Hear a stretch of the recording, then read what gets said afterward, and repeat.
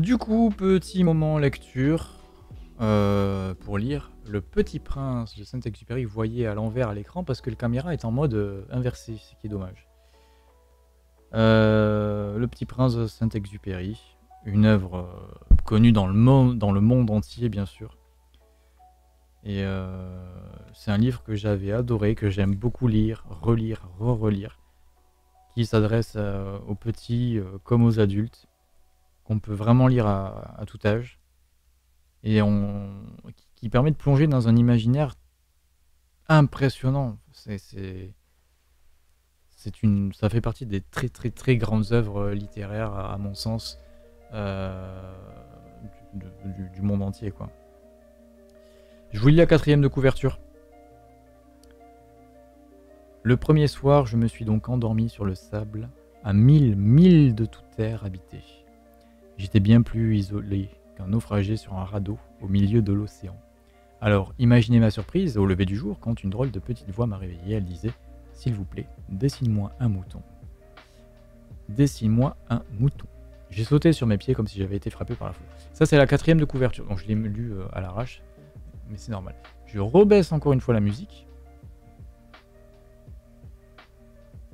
Voilà. Allez, c'est parti. Donc là, j'ai l'édition que j'ai, c'est de chez Folio Junior. Euh, édition de 2007. C'est l'édition de 2007. Et euh, elle est intéressante cette édition parce qu'elle est ponctuée euh, de dessins, d'aquarelles directement d'Antoine de Saint-Exupéry. Je vous les montrerai au fur et à mesure, je pense.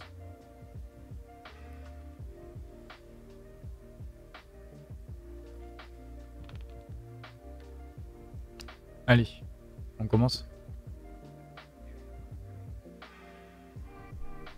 Lorsque j'avais 6 ans, j'ai vu, une fois, une magnifique image dans un livre sur la forêt vierge qui s'appelait Histoire vécue. Ça représentait un serpent boa qui avalait un fauve. Voilà la copie du dessin.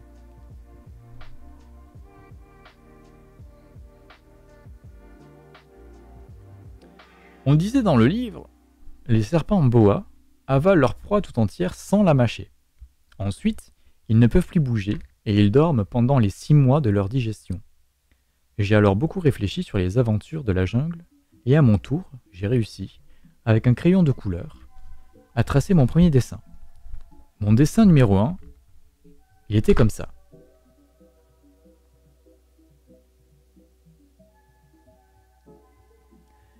J'ai montré mon chef-d'œuvre aux grandes personnes et je leur ai demandé si mon dessin leur faisait peur. Elles m'ont répondu Pourquoi un chapeau ferait-il peur?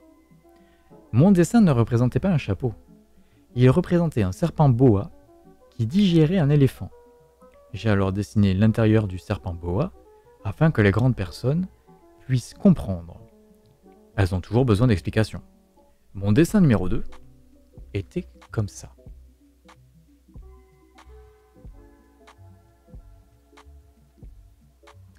Les grandes personnes m'ont conseillé de laisser de côté les dessins de sapins bois ouverts ou fermés, et de m'intéresser plutôt à la géographie, à l'histoire, au calcul et à la grammaire. C'est ainsi que j'ai abandonné, à l'âge de 6 ans, une magnifique carrière de peintre. J'avais été découragé par l'insuccès de mon dessin numéro 1 et de mon dessin numéro 2. Les grandes personnes ne comprennent jamais rien toutes seules, et c'est fatigant. Pour les enfants, toujours et toujours leur donner des explications. J'ai donc dû choisir un autre métier et j'ai appris à piloter des avions. J'ai volé un peu partout dans le monde et la géographie, c'est exact, m'a beaucoup servi. Je savais reconnaître du premier coup d'œil la Chine de l'Arizona. C'est très utile si l'on s'est égaré pendant la nuit. J'ai ainsi eu, au cours de ma vie, des tas de contacts avec des tas de gens sérieux. J'ai beaucoup vécu chez les grandes personnes, je les ai vus de très près. Ça ne m'a ça n'a pas trop amélioré mon opinion. Quand j'en rencontrais une qui me paraissait un peu lucide, je faisais l'expérience sur elle de mon dessin numéro 1 que j'ai toujours conservé. Je voulais savoir si elle était vraiment compréhensive, mais toujours elle me répondait c'est un chapeau. Alors je ne lui parlais ni de serpent bois, ni de forêt vierge, ni d'étoiles. Je me mettais à sa portée, je lui parlais de bridge, de golf, de politique et de cravate. Et la grande personne était bien contente de connaître un homme aussi raisonnable. J'ai ainsi vécu seul, sans personne avec qui parler véritablement, jusqu'à une panne dans le désert du Sahara il y a six ans. Quelque chose s'était cassé dans mon moteur. Et comme je n'avais avec moi ni mécanicien ni passager, je me préparais à essayer de réussir tout seul une réparation difficile. C'était pour moi une question de vie ou de mort. J'avais à peine de l'eau à boire pour huit jours. Le premier soir, je me suis donc endormi sur le sol à mille milles de toute terre habitée. Et j'étais bien plus isolé qu'un naufragé sur un radeau au milieu de l'océan. Alors vous imaginez ma surprise au lever du jour quand une drôle de petite voix m'a réveillé. Elle disait S'il vous plaît, dessine-moi un mouton. Hein? Dessine-moi un mouton. J'ai sauté sur mes pieds, comme si j'avais été frappé par la foudre. J'ai bien frotté mes yeux, j'ai bien regardé, et j'ai vu un petit bonhomme, tout à fait extraordinaire, qui me considérait gravement. Et là, il y a un petit dessin d'Antoine de Saint-Exupéry. Salut Daft sur le chat. Comment il va?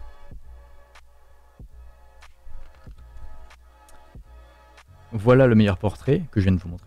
Voilà le meilleur portrait que plus tard j'ai réussi à faire de lui. Le portrait que je viens de vous montrer, hein, du coup. Mais mon dessin, bien sûr, est beaucoup plus moins. Oula. Mais mon dessin, bien sûr, est beaucoup moins ravissant que le modèle.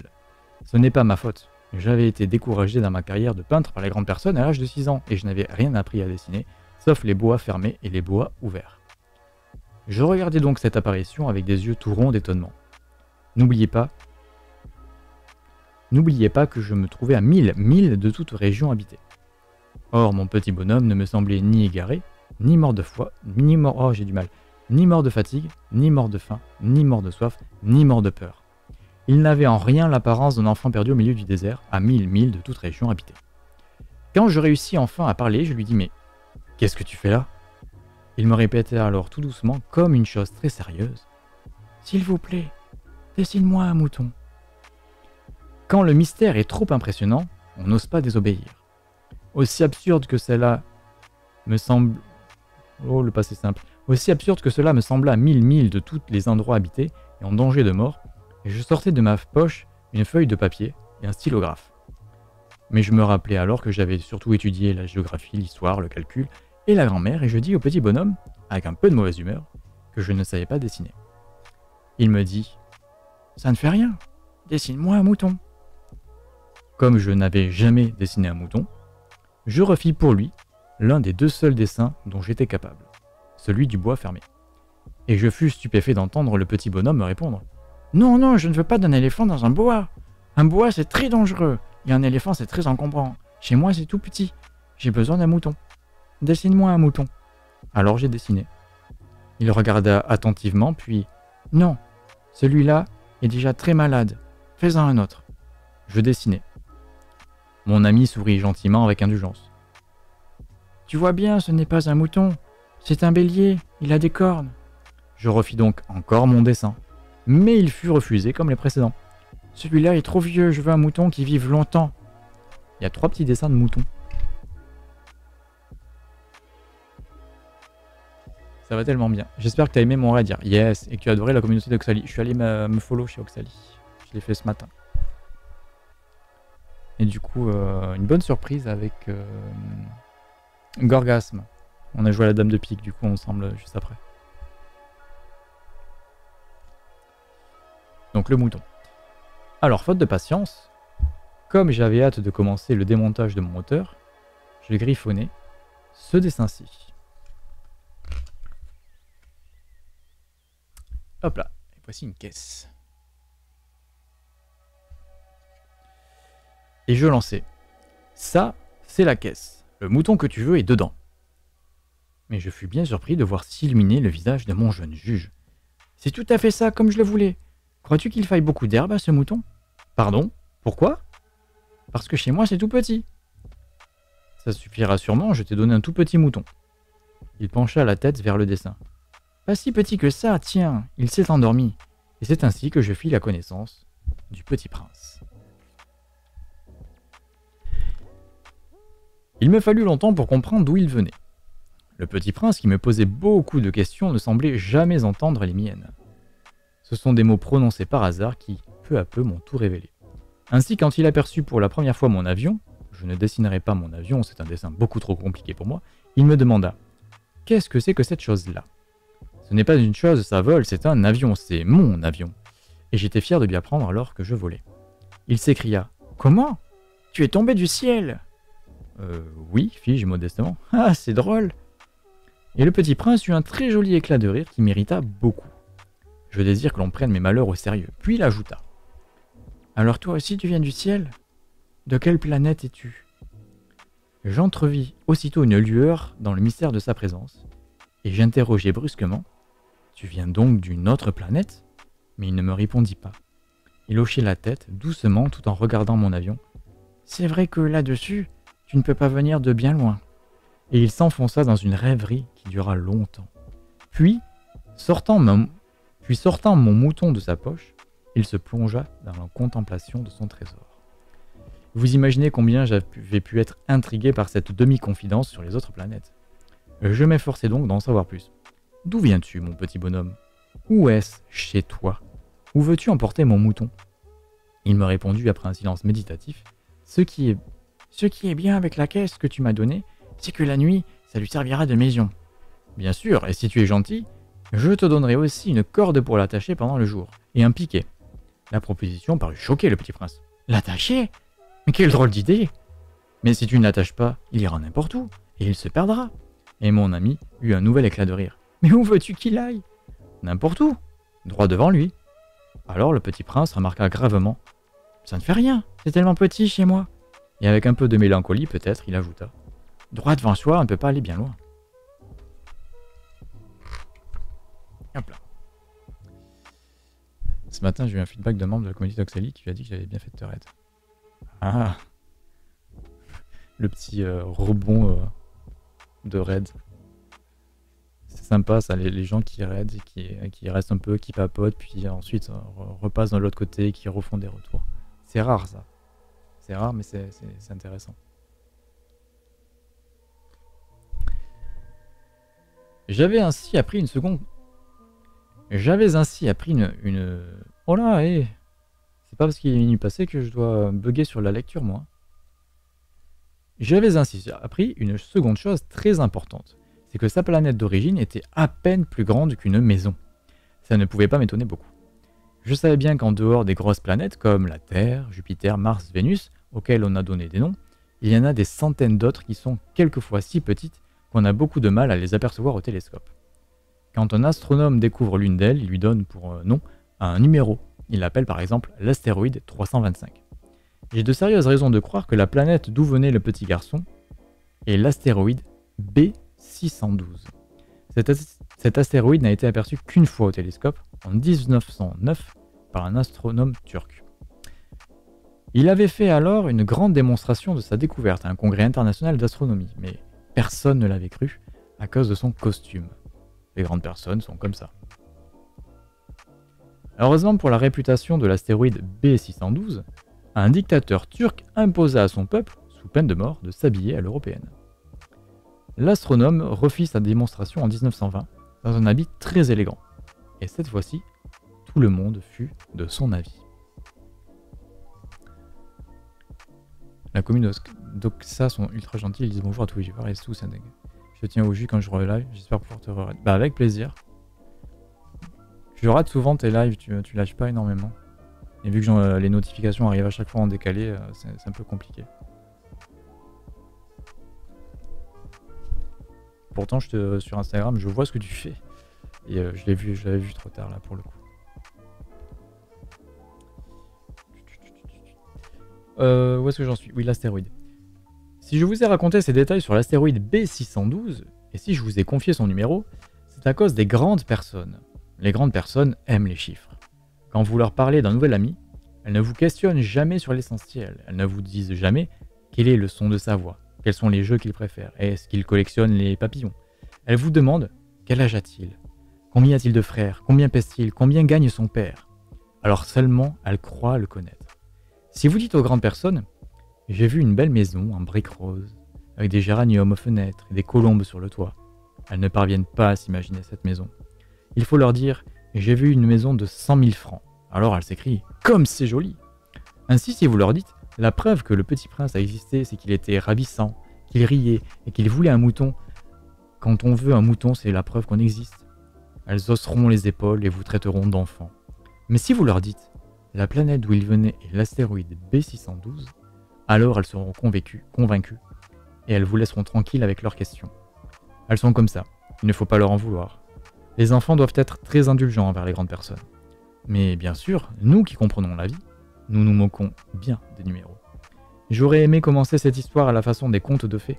J'aurais aimé dire Il était une fois un petit prince qui habitait une planète à peine plus grande que lui et qui avait besoin d'un ami. Pour ceux qui comprennent la vie, ça aurait eu l'air beaucoup plus vrai. Car je n'aime pas qu'on lise mon livre à la légère. J'éprouve tant de chagrin à raconter mes, ces souvenirs. Il y a six ans déjà que mon ami s'en est allé avec son mouton. Si j'essaye ici de le décrire, c'est afin de ne pas l'oublier. C'est triste d'oublier un ami. Tout le monde n'a pas eu un ami. Et je puis devenir comme les grandes personnes qui ne s'intéressent plus qu'aux chiffres. C'est donc pour ça encore que j'ai acheté une boîte de, c'est donc pour ça encore que j'ai acheté une boîte de couleurs et des crayons. C'est dur de se remettre au dessin à mon âge, quand on n'a jamais fait d'autres quand on n'a jamais fait d'autres tentatives que celle d'un boa fermé et celle d'un boa ouvert à l'âge de 6 ans. J'essaierai bien sûr de faire les portraits les plus ressemblants possibles, mais je ne suis pas tout à fait certain de réussir. Un dessin va, et l'autre ne ressemble plus. Je me trompe un peu aussi sur la taille. Ici, le petit prince est trop Ici, le petit prince est trop grand, là, il est trop petit. J'hésite aussi sur la couleur de son costume. Alors je tâtonne comme ci et comme ça, tant bien que mal. Je me tromperai enfin sur certains détails plus importants, mais ça, il faudra me le pardonner. Mon ami ne donnait jamais d'explication. Il me croyait peut-être semblable à lui, mais moi, malheureusement, je ne sais pas voir les moutons à travers les caisses. Je suis peut-être un peu comme les grandes personnes, j'ai dû vieillir.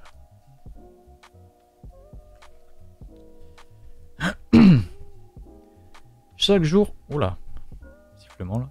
Chaque jour, j'apprenais quelque chose sur la planète, sur le départ, sur le voyage. Ça venait tout, ça venait tout doucement, au hasard des réflexions. C'est ainsi que le troisième jour, je connus le drame des baobabs.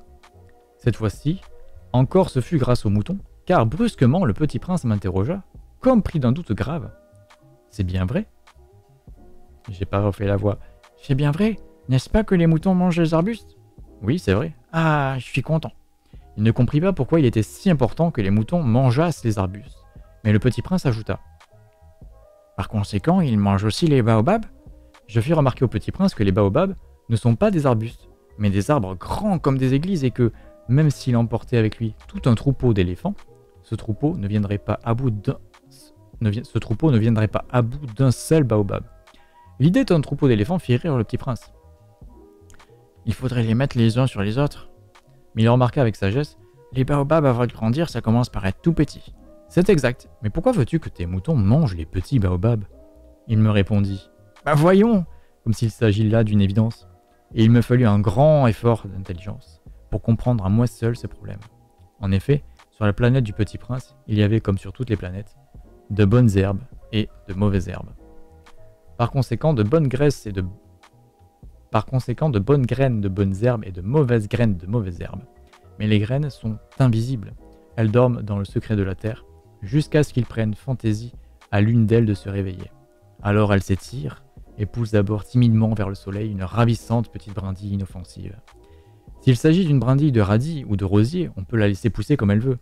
Mais s'il s'agit d'une mauvaise plante, il faut arracher la plante aussitôt, dès qu'on a su la reconnaître. Or, il y avait des graines terribles sur la planète du Petit Prince. C'étaient les graines de baobab. Le sol de la planète en était infesté. Or, un baobab, si l'on s'y prend trop tard, on ne peut plus jamais s'en débarrasser. Il encombre toute la planète et il la perfore de ses racines. Et si la planète est trop petite et si les baobabs sont trop nombreux, ils la font éclater. C'est une question de discipline, me disait plus tard le petit prince. Quand on a terminé sa toilette du matin, il faut faire soigneusement la toilette de la planète. Il faut s'astreindre régulièrement à arracher les baobabs dès qu'on les distingue, d'avec les rosiers auxquels ils ressemblent beaucoup quand ils sont très jeunes. C'est un travail très ennuyeux, mais très facile. Et un jour, il me conseilla de m'appliquer à réussir un beau dessin, pour bien faire entrer ça dans la tête des enfants de chez moi. S'il voyage un jour, me disait-il, ça pourra leur servir. Il est quelquefois sans inconvénient de remettre à plus tard son travail, mais s'il s'agit des baobabs, c'est toujours une catastrophe. J'ai connu une planète habitée par un paresseux. Il avait négligé trois arbustes. Et, sur les indications du petit prince, j'ai dessiné cette planète-là. Je n'aime guère prendre le ton d'un moraliste, mais le danger des baobabs est si peu connu et les risques courus par celui qui s'est garé dans un astéroïde sont si considérables que, pour une fois, je fais exception à ma réserve. Je dis, enfants, faites attention aux baobabs. C'est pour avertir mes amis d'un danger qu'ils frôlaient depuis longtemps comme moi-même sans le connaître que j'ai tant travaillé ce dessin-là. La leçon que je donnais en valait la peine. Vous vous demanderez peut-être pourquoi n'y a-t-il pas dans ce livre d'autres dessins aussi grandioses que le dessin des baobabs? La réponse est bien simple. J'ai essayé, mais je n'ai jamais pu réussir. Quand j'ai dessiné les baobabs, j'ai été animé par le sentiment de l'urgence. Le dessin des baobabs.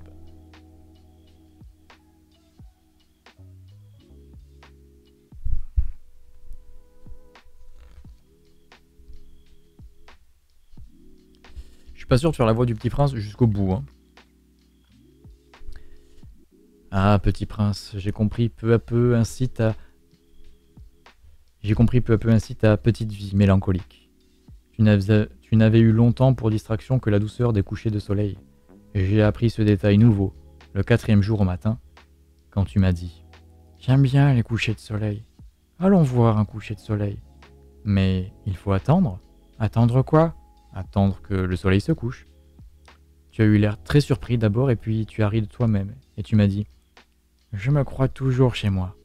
En effet, quand il est midi aux États-Unis, le soleil, tout le monde le sait, se couche sur la France. Il suffirait de pouvoir aller en France en une minute pour assister au coucher du soleil. Malheureusement, la France est bien trop éloignée. Mais sur ta si petite planète, il te suffisait de tirer ta chaise de quelques pas, et tu regardais le crépuscule chaque fois que tu le désirais. Un jour, j'ai vu le soleil se coucher 44 fois. Et un peu plus tard, tu ajoutais Tu sais, quand on est tellement triste, on aime les couchers de soleil. Le jour des 44 fois, tu étais donc tellement triste? Mais le petit prince ne répondit pas.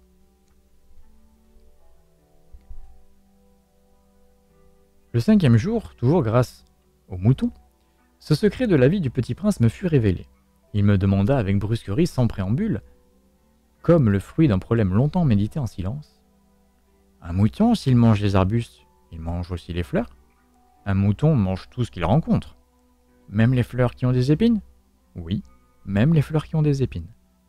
Alors les épines, à quoi servent-elles? Je ne le savais pas. J'étais alors très occupé à essayer de dévisser un boulon trop serré de mon moteur. J'étais très soucieux car ma panne commençait de m'apparaître comme très grave, et l'eau à boire qui s'épuisait me faisait craindre le pire. Les épines, à quoi servent-elles? Le petit prince ne renonçait jamais à une question, une fois qu'il l'avait posée. J'étais irrité par mon boulon et j'ai répondu n'importe quoi. Les épines, ça ne sert à rien, c'est de la pure méchanceté de la part des fleurs.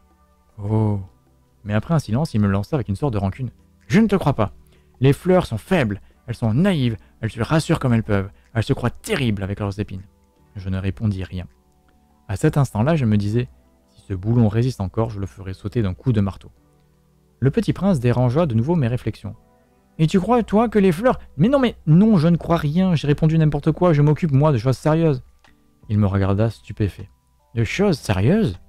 Il me voyait, mon marteau à la main, il doigts noirs de cambouis, penché sur un objet qui lui semblait très. Tu parles comme les grandes personnes Ça me fit un peu honte, mais impitoyable, il ajouta Tu confonds tout, tu mélanges tout Il était vraiment très irrité. Il secouait au vent des cheveux tout dorés. Je connais une planète où il y a un monsieur cramoisi, il n'a jamais respiré une fleur. Il n'a jamais regardé une étoile. Il n'a jamais aimé une personne. Il n'a jamais rien fait d'autre que des additions. Et toute la journée, il répète comme toi Je suis un homme sérieux, je suis un homme sérieux. Et ça, ça le fait gonfler d'orgueil. Mais ce n'est pas un homme, c'est un champignon.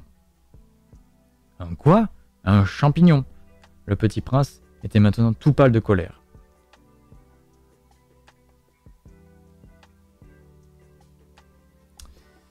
Euh...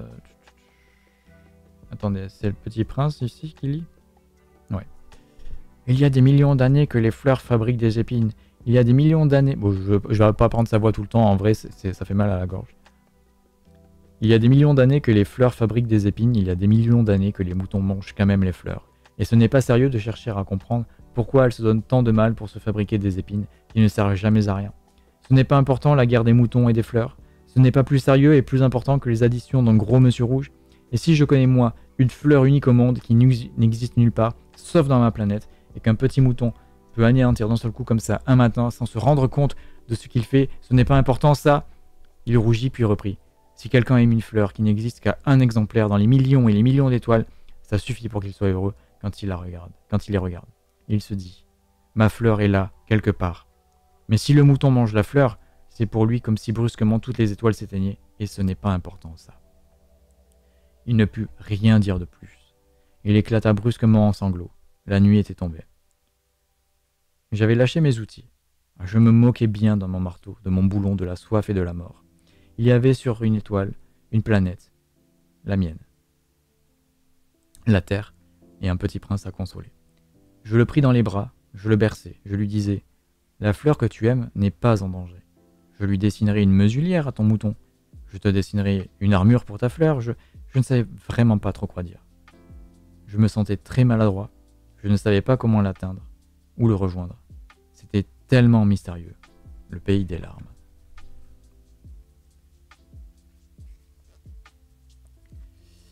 Il commence à faire soif. Vraiment.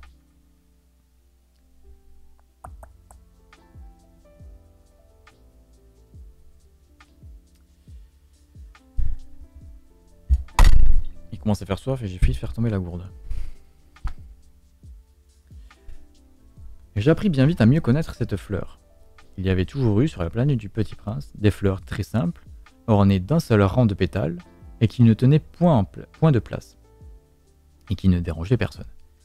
Elles apparaissaient un matin dans l'herbe, et puis elles s'éteignaient le soir. Mais celle-là avait germé un jour d'une graine apportée d'on ne sait où dont on ne sait où d'ailleurs. On ne sait où, c'est pas, ça se dit pas, c'est dont on ne sait où. Et le petit prince avait surveillé de très près cette brindille, qui ne ressemblait pas aux autres brindilles. Ça ne pouvait être un nouveau genre de baobab. Mais l'arbuste cessa vite de croître et commença de préparer une fleur. Le petit prince, qui assistait à l'installation d'un bouton énorme, sentait bien qu'il en sortirait une apparition miraculeuse. Mais la fleur n'en finissait pas de se préparer à être belle, à l'abri de sa chambre verte. Elle choisissait avec soin, ses couleurs. Elle s'habillait lentement. Elle ajustait un à un ses pétales. Elle ne voulait pas sortir toute fripée comme les coquelicots. Elle ne voulait apparaître que dans le plein rayonnement de sa beauté. Et oui, elle était très coquette. Sa toilette mystérieuse avait donc duré des jours et des jours. Et puis voici qu'un matin, justement à l'heure du lever du soleil, elle s'était montrée. Et elle, qui avait travaillé avec tant de précision, dit en bâillant. Ah, je me réveille à peine. Je vous demande pardon, je suis encore toute décoiffée. Le petit prince alors ne put contenir son admiration. Que vous êtes belle. N'est-ce pas répondit doucement la fleur. Et je suis née en même temps que le soleil. Le petit prince devina bien qu'elle n'était pas trop modeste. Mais elle était si émouvante. C'est l'heure, je crois, du petit déjeuner, avait-elle bientôt ajouté. Auriez-vous la bonté de penser à moi? Et le petit prince, tout confus, ayant été chercher un arrosoir d'eau fraîche, avait servi la fleur.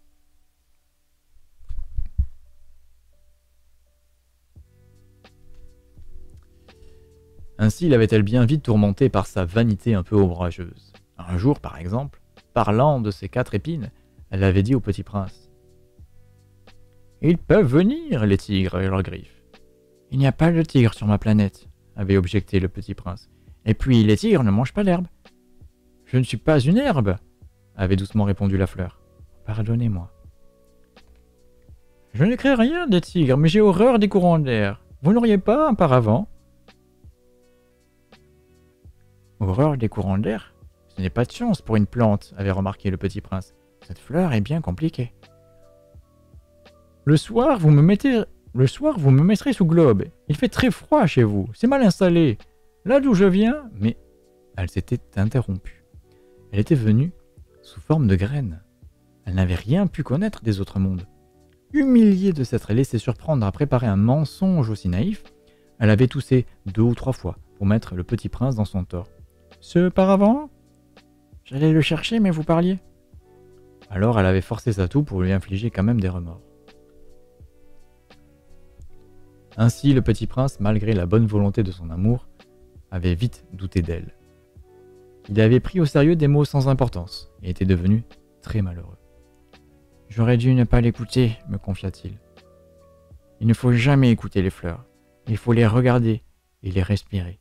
La mienne embaumait ma planète, mais je ne savais pas m'en réjouir. Cette histoire de griffe qui m'avait tellement agacé eût dû m'attendrir.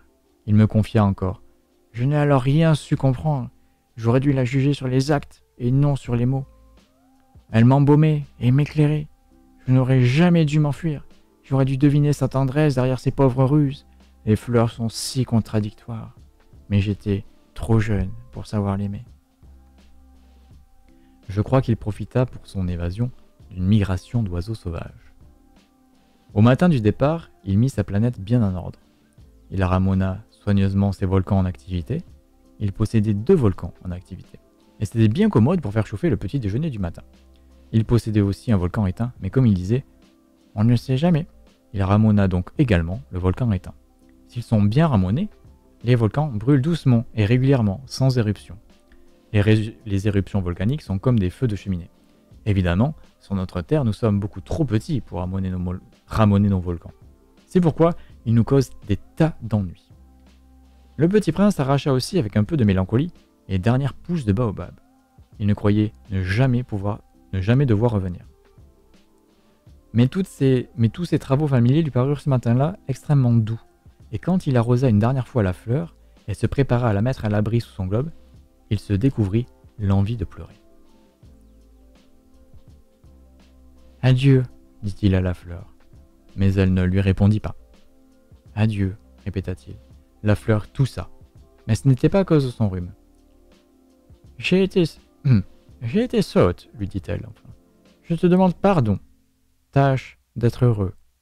Il fut surpris par l'absence de reproche. Il restait là, tout déconcerté, le globe en l'air. Il ne comprenait pas cette douceur calme. Mais oui, je t'aime, lui dit la fleur. Tu n'en as rien su par ma faute. Cela n'a aucune importance, mais tu as été aussi sot que moi. Tâche d'être heureux. Laisse ce globe tranquille, je n'en veux plus. Mais le vent, je ne suis pas si enrhumé que ça. L'air frais de la nuit me fera du bien. Je suis une fleur. Mais les bêtes Il faut bien que je supporte deux ou trois chenilles si je veux connaître les papillons. Il paraît que c'est tellement beau. Sinon, qui me rendra visite? Tu seras loin, toi. Quant aux grosses bêtes, je ne crains rien. J'ai mes griffes. Elle montrait naïvement ses quatre épines. Puis elle ajouta Ne traîne pas comme ça, c'est agaçant. Tu as décidé de partir Va-t'en car elle ne voulait pas qu'il la vît pleurer.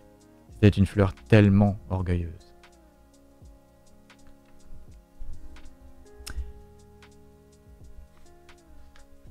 Il se trouvait dans la région des astéroïdes 325, 326, 327, 328, 329 et 330.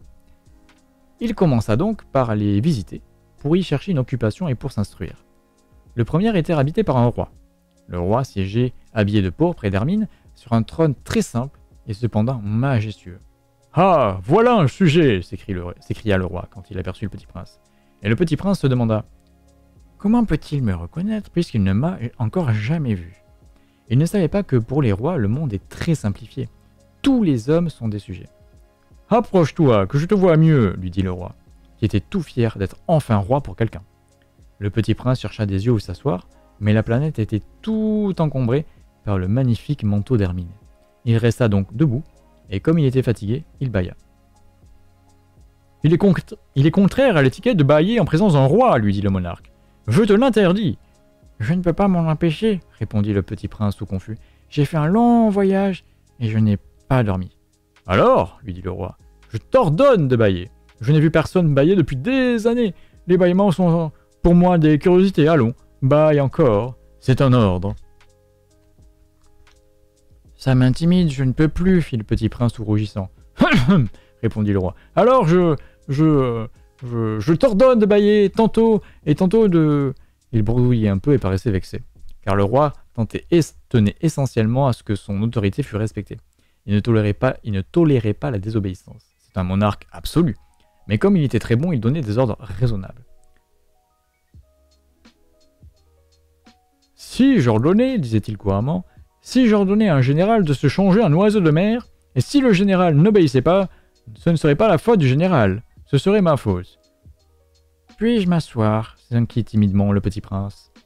Je t'ordonne de t'asseoir, lui répondit le roi, qui ramena majestueusement un pan de son manteau d'hermine. Mais le petit prince étonné. La planète était minuscule.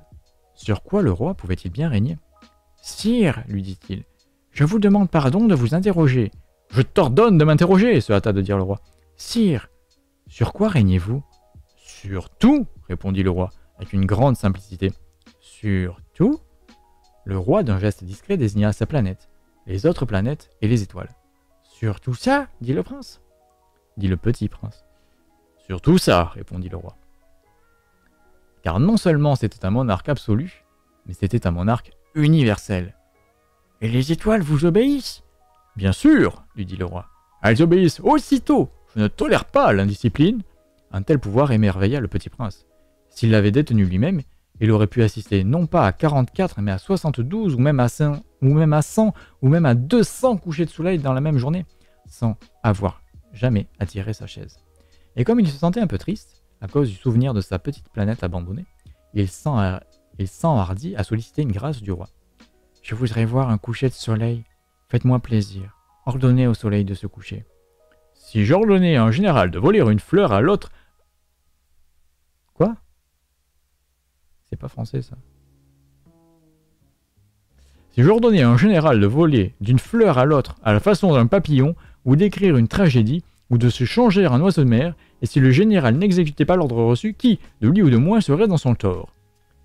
Ce serait vous, dit fermement le petit prince. Exact. Il faut exiger de chacun ce que chacun peut donner, reprit le roi. L'autorité repose d'abord sur la raison. Si tu ordonnes à ton peuple d'aller se jeter à la mer, il fera la révolution. J'ai le droit d'exiger l'obéissance parce que mes ordres sont raisonnables.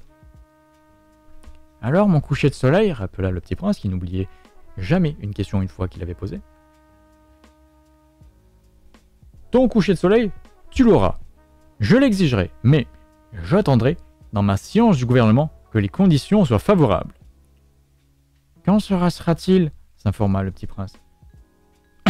lui répondit le roi, qui consulta d'abord un gros calendrier. ce sera euh, vers. Euh, ce sera euh, ce soir, vers 7h40, et tu verras comme je suis bien obéi. Le petit prince bâilla. Il regrettait son coucher de soleil manqué, et puis il s'ennuyait déjà un peu. Je n'ai plus rien à faire ici, dit-il au roi. Je vais repartir. Ne pars pas, répondit le roi qui était si fier d'avoir un sujet. Ne pars pas. Je te fais ministre. Ministre de quoi? De. de la justice. Mais il n'y a personne à juger. On ne sait pas, lui dit le roi. Je n'ai pas fait encore le tour de mon royaume. Je suis très vieux, je n'ai pas de place pour un carrosse, et ça me fatigue de marcher.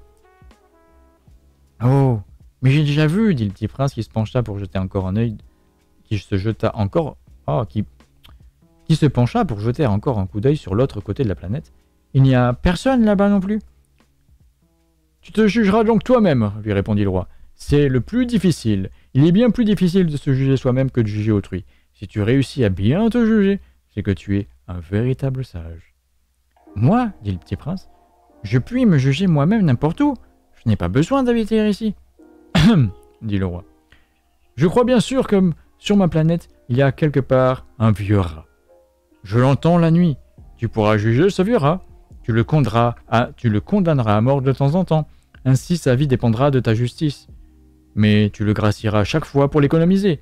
Il n'y en a qu'un. Moi, répondit le petit prince, je n'aime pas condamner à mort. Et je crois bien que je m'en vais. Non, dit le roi. Mais le petit prince, ayant achevé ses préparatifs, ne voulut point peiner le vieux monarque. Si votre majesté paraît... Oh là là. Si votre majesté désirait être obéie ponctuellement, elle pourrait me donner un ordre raisonnable. Elle pourrait m'ordonner, par exemple, de partir avant une minute. Il me semble que les conditions sont favorables. Le roi n'ayant rien répondu, le petit prince hésita d'abord, puis avec un soupir, prit le départ. Je te fais mon ambassadeur se hâta alors de crier le roi. Il avait un grand air d'autorité. Les grandes personnes sont bien étranges, se dit le petit prince en lui-même durant son voyage. Je me permets de boire de l'eau,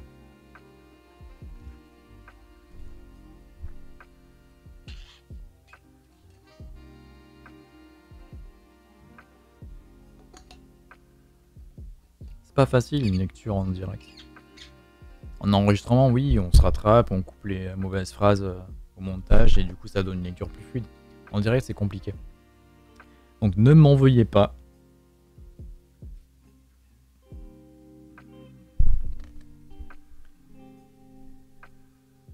La seconde planète était habitée par un vaniteux. Je vais avoir du mal à faire toutes les voix, hein, parce qu'il y a quand même pas mal de personnages dans le livre. La seconde planète était habitée par un vaniteux. Ah, voilà la visite d'un admirateur s'écria de loin le vaniteux dès qu'il aperçut le petit prince. Car, pour les vaniteux, les autres hommes sont des admirateurs. Bonjour, dit le petit prince. Vous avez un drôle de chapeau. C'est pour saluer, lui répondit le vaniteux. C'est pour saluer quand on m'acclame. Malheureusement, il ne, il ne passe jamais personne ici. Ah oui dit le petit prince qui ne comprit pas. Frappe tes mains l'une contre l'autre, conseilla donc le vaniteux. Le petit prince frappa ses mains l'une contre l'autre. Le vaniteux salua modestement en soulevant son chapeau. Ça, c'est plus amusant, c'est plus amusant que la visite au roi, se dit en lui-même le petit prince, et il recommença de frapper ses mains l'une contre l'autre. Le vaniteux recommença de saluer en soulevant son chapeau. Après cinq minutes d'exercice, le petit prince se fatigua de la monotonie du jeu. Et pour que le chapeau tombe, demanda-t-il, que faut-il faire? Mais le vaniteux ne l'entendit pas. Les vaniteux n'entendent jamais que les louanges. Est-ce que tu m'admires vraiment beaucoup demanda-t-il au petit prince. Qu'est-ce que ça signifie Admirer? Admirer signifie reconnaître que je suis l'homme le plus beau, le mieux habillé, le plus riche et le plus intelligent de la planète. Mais tu es seul sur ta planète. Fais-moi ce plaisir, admire-moi quand même. Je t'admire, dit le petit prince en haussant un peu les épaules. Mais en quoi cela peut-il bien t'intéresser? Et le petit prince en fut. Les grandes personnes sont décidément bien bizarres, se dit-il en lui-même durant son voyage. La planète suivante était habitée par un buveur. Cette visite fut très courte, mais elle plongea le petit prince dans une grande mélancolie. Que fais-tu là? dit-il au buveur, qu'il trouva installé en silence devant une collection de bouteilles vides et une collection de bouteilles pleines. Je bois, répondit le buveur d'un air lugubre. Pourquoi bois-tu? demanda le petit prince. Pour oublier, répondit le buveur. Pour oublier, pour oublier quoi? s'enquit le petit prince, dès qu'il déjà le plaignait. Pour oublier que j'ai honte, avoua le buveur en baissant la tête. Honte de quoi? s'informa le petit prince qui désirait le secourir. Honte de boire, acheva le buveur, qui s'enferma définitivement dans le silence. Et le petit prince s'en fut perplexe. Les grandes personnes sont Les grandes personnes sont décidément très très bizarres, se disait-il en lui-même durant le voyage.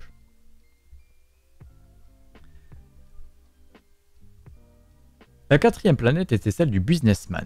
Cet homme était si occupé qu'il ne leva même pas la tête à l'arrivée du petit prince. Bonjour, lui dit celui-ci. Votre cigarette est éteinte. 3 et 2 font 5, 5 et 7, 12, 12 et 3, 15. Bonjour, 15 et 7, 22, 22 et 6, 28. Pas le temps de la rallumer, 25 et 26 et 5, 31. Ouf, ça fait donc 501 622 731. 500 millions de quoi Hein Tu es toujours là? 500 millions de... Je, ne sais plus, j'ai tellement de travail. Je suis sérieux, moi. Je ne m'amuse pas à des balivernes. 2 et 5, 7... 500... 501 millions de quoi? Répéta le petit prince, qui jamais de sa vie n'avait renoncé à une question une fois qu'il avait posé. Le businessman leva la tête. Depuis 54 ans que j'habite cette planète-ci, je n'ai été dérangé que trois fois. La première fois, c'était il y a 22 ans, par un hanneton qui était tombé. Dieu sait d'où, et répandait un bruit épouvantable, et j'ai fait quatre erreurs dans une addition. La seconde fois, c'était il y a 11 ans, par une crise de rhumatisme. Je manque d'exercice. Je n'ai pas le temps de flâner. Je suis sérieux, moi. La troisième fois, la voici. Je disais donc 501 millions. Millions de quoi? Le businessman comprit qu'il n'était point d'espoir de paix. Millions de cette petite chose que l'on voit quelquefois dans le ciel. Des mouches? Mais non, des petites choses qui brillent. Des abeilles? Mais non, des petites choses dorées qui font rêvasser les feignants. Mais je suis sérieux, moi je n'ai pas le temps de rêvasser. Ah, des étoiles? C'est bien ça, des étoiles. Et que fais-tu de 500 millions d'étoiles? 501 622 131. Je suis sérieux, moi je suis précis. Et que fais-tu de ces étoiles? Ce que j'en fais? Oui. Rien, je les possède. Tu possèdes les étoiles? Oui. Mais j'ai déjà vu un roi qui... Les rois ne possèdent pas, ils règnent sur, c'est très différent. Et en quoi cela te sert-il de posséder les étoiles? Ça me sert à être riche. Et en quoi cela te sert-il d'être riche? À acheter d'autres étoiles si quelqu'un en trouve. Celui-là, se disait en lui-même le petit prince, il résonne un peu comme un ivrogne. Cependant, il posa encore des questions. Comment peut-on posséder les étoiles? Ah, Qui sont-elles? Riposta grincheux le businessman. Je ne sais pas, à personne. Alors elles sont à moi car j'y ai pensé le premier. Ça suffit? Bien sûr, quand tu trouves un diamant qui n'est à personne, il est à toi. Quand tu trouves une île qui n'est à personne, elle est à toi. Quand tu as une idée le premier, tu l'as fait breveter, elle est à toi. Et moi, je possède les étoiles, puisque jamais personne avant moi n'a songé à les posséder. Ça, c'est vrai, dit le petit prince. Et qu'en fais-tu? Je les gère, je les compte, je les recompte, dit le businessman. C'est difficile, mais je suis un homme sérieux. Le petit prince n'était pas satisfait encore. Moi, si je possède un foulard, je puis le mettre autour de mon cou et l'emporter. Moi, si je possède une fleur, je puis cueillir ma fleur et l'emporter. Mais tu ne peux pas cueillir les étoiles. Non, mais je puis les placer en banque. Qu'est-ce que, que ça veut dire? Ça veut dire que j'écris sur un petit papier le nombre de mes étoiles. Et puis j'enferme à clé ce papier-là dans un tiroir. Et c'est tout Ça suffit C'est amusant, pensa le petit prince. C'est assez poétique, mais ce n'est pas très sérieux. Le petit prince avait sur les... Le petit prince avait sur les choses sérieuses des idées très différentes des idées des grandes personnes. Moi, dit-il encore, je possède une fleur que j'arrose tous les jours. Je possède trois volcans que je ramone toutes les semaines, car je ramone aussi celui qui éteint, on ne sait jamais. C'est utile à mes volcans, et c'est utile à ma fleur que je les possède. Mais tu n'es pas utile aux étoiles. Le businessman ouvrit la bouche mais ne trouva rien à répondre, et le petit prince s'en fut. Les grandes personnes sont décidément tout à fait extraordinaires, se disait-il simplement lui-même durant le voyage. La cinquième planète était très curieuse. C'était la plus petite de toutes. Il y avait là juste assez de place pour loger un réverbère et un allumeur de réverbère. Le petit prince ne parvenait pas à s'expliquer à quoi pouvait servir quelque part dans le ciel sur une planète sans maison ni population, un réverbère et un allumeur de réverbère. Cependant, il se dit en lui-même Peut-être bien que cet homme est absurde. Cependant, il est moins absurde que le roi, que le vaniteux, que le businessman et que le buveur. Au moins son travail a-t-il un sens Quand il allume son réverbère, c'est comme s'il faisait naître une étoile de plus, ou une fleur. Quand il éteint son réverbère, ça endort la fleur ou l'étoile. C'est une occupation très jolie. C'est véritablement utile puisque c'est joli. Lorsqu'il aborda la planète, il salua respectueusement l'allumeur. Bonjour Pourquoi viens-tu d'éteindre ton réverbère C'est la consigne, répondit l'allumeur. Bonjour Qu'est-ce que la consigne? C'est d'éteindre mon réverbère. Bonsoir. Et il le ralluma. Pourquoi viens-tu de l'allumer? Bah. Mais pourquoi viens-tu de le rallumer? C'est la consigne, répondit l'allumeur. Je ne comprends pas, dit le petit prince. Il n'y a rien à comprendre, dit l'allumeur. La consigne, c'est la consigne. Bonjour et il éteignit son réverbère. Puis il s'épongea le front avec un mouchoir à carreaux rouges. Je fais là un métier terrible. C'était raisonnable autrefois, j'éteignais le matin et j'allumais le soir. J'avais le reste du jour pour me reposer et le reste de la nuit pour dormir. Et depuis cette époque, la consigne a changé. La consigne n'a pas changé, dit l'allumeur. C'est bien là le drame. La planète, d'année en année, a tourné de plus en plus vite. Et la consigne n'a pas changé. Alors dit le petit prince. Alors maintenant qu'elle fait un tour par minute, je n'ai plus une seconde de repos. J'allume et j'éteins une fois par minute. Ça, c'est drôle. Les jours chez toi durent une minute. Ce n'est pas drôle du tout, dit l'allumeur. Ça fait déjà un mois que nous parlons ensemble. Un mois? Oui, trente minutes, trente jours, bonsoir. Et il ralluma son réverbère. Le petit prince le regarda, et il aima cet allumeur qui était tellement fidèle à la consigne. Il se souvint des couchers de soleil que lui-même allait autrefois chercher en tirant sa chaise. Il voulut aider son il voulut aider son ami. Tu sais, je connais un moyen de te reposer quand tu voudras. Je veux toujours, dit l'allumeur, car on peut être à la fois fidèle et paresseux. Le petit prince poursuivit. Ta planète est tellement petite que tu en fais le tour en trois enjambées. Tu n'as qu'à marcher assez lentement pour rester toujours au soleil. Quand tu voudras te reposer, tu marcheras, et le jour durera aussi longtemps que tu voudras. Ça ne m'avance pas à grand chose, dit l'allumeur. C'est ce que j'aime dans la vie. Ce que j'aime dans la vie, c'est dormir. Ce n'est pas de chance, dit le petit prince. Ce n'est pas de chance, dit la humeur. Bonjour. Et il éteignit son réverbère. Celui-là, se dit le petit prince, tandis qu'il poursuivait son voyage, tandis qu'il poursuivait plus loin son voyage, celui-là serait méprisé par tous les autres, par le roi, par le vaniteux, par le buveur, par le businessman. Cependant, c'est là, C'est le seul qui ne me paraisse pas ridicule. C'est peut-être parce qu'il s'occupe d'autre chose que de soi-même. Il eut, un soupir, de regret et se dit encore Celui-là est le seul dont je fus. Celui-là, oh là là, celui-là est le seul dont j'eusse pu faire mon ami. Celui-là, il aurait pu faire son ami, quoi. Mais sa planète est vraiment trop petite, il n'y a pas de place pour deux. Ce que le petit prince n'osait pas s'avouer, c'est qu'il regrettait cette planète bénie, à cause surtout surtout des 1440 couchers de soleil par 24 heures.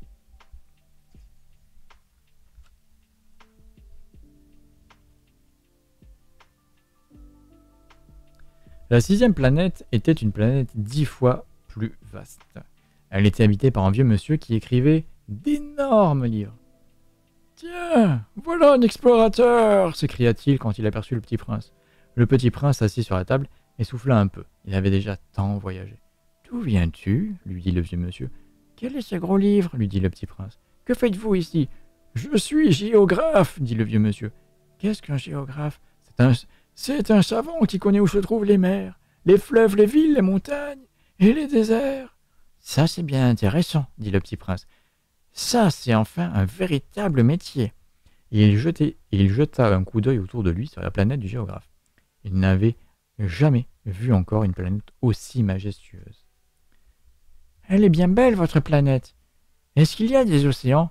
Je ne puis le savoir, dit le géographe. Ah, dit le petit prince. Le petit prince était déçu. Et des montagnes? Je ne puis le savoir, dit le géographe. Et des villes et des fleuves et des déserts? Je ne puis pas le savoir non plus, dit le géographe. Mais vous êtes géographe C'est exact, dit le géographe. Mais je ne suis pas explorateur. Je manque absolument d'explorateur. Ce n'est pas le Ce n'est pas le géographe qui va faire le compte des villes, des fleuves, des montagnes, des mers, des océans et des déserts. Le géographe est trop important pour flâner. Il ne quitte pas son bureau, mais il y reçoit les explorateurs. Il les interroge et il prend en note leurs souvenirs. Et si les souvenirs de l'un d'entre eux paraissent intéressants, le géographe fait faire une enquête sur la moralité de l'explorateur. Pourquoi ça? Parce qu'un explorateur qui mentirait entraînerait des catastrophes dans les livres de géographie, et aussi un explorateur qui boirait trop. Pourquoi ça? fit le petit prince. Parce que les, parce que les ivrognes voient double. Alors le géographe noterait deux montagnes là où il n'y en a qu'une seule. Je connais quelqu'un, dit le petit prince, qui serait mauvais explorateur. C'est possible.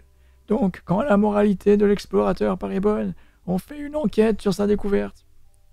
On va voir Non, c'est trop compliqué, mais on exige de l'explorateur qu'il fournisse des preuves. S'il s'agit par exemple de la découverte d'une grosse montagne, on exige qu'il en rapporte de grosses pierres. Le géographe soudain s'émut. Mais toi, tu viens de loin. Tu es explorateur. Tu vas me décrire ta planète. Et le géographe, ayant ouvert son registre, tailla son crayon. On note d'abord au crayon les récits des explorateurs. On attend, pour noter à l'encre, que l'explorateur ait fourni des preuves. Alors? interrogea le géographe. Oh Chez moi, dit le petit prince, ce n'est pas très intéressant. C'est tout petit. J'ai trois volcans, deux volcans en activité et un volcan éteint. Mais on ne sait jamais. On ne sait jamais, dit le géographe. J'ai aussi. Oula, j'ai aussi une fleur. Nous ne, notons, pas les fleurs, dit le géographe. Pourquoi ça? C'est le plus joli. Parce que les fleurs sont éphémères. Qu'est-ce que ça finit Qu'est-ce que ça signifie éphémère? Les gé... Oh. Jongler entre deux voix, bordel. Les géographies, dit le géographe, sont les livres les plus sérieux de tous les livres. Elles ne se démodent jamais. Il est très rare qu'une montagne change de place. Il est très rare qu'un océan se vide de son eau. Nous écrivons des choses éternelles.